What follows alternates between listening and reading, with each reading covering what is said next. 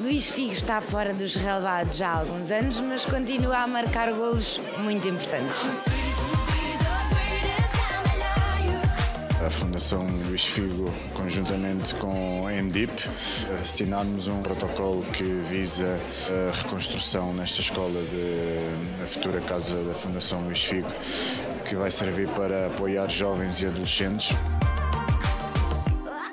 A Fundação Luís Figo é como um filho também para ti, não é verdade?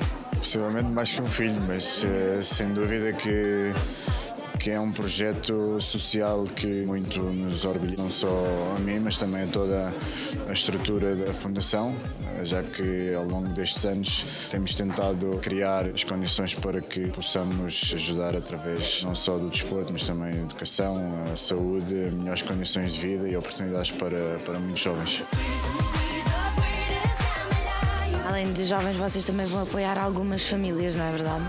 Sim, vai haver diversidade de trabalhos através da gestão da MDIP, uma entidade que já tem muita experiência nesse trabalho, por isso, conjuntamente, esperemos que possamos fazer um trabalho extremamente positivo.